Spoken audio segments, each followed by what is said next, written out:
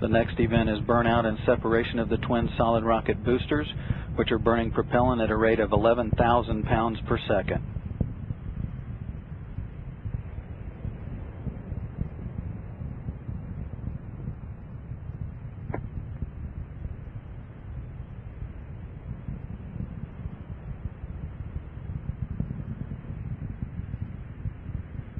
SRB separation is confirmed 2 minutes 15 seconds into the flight.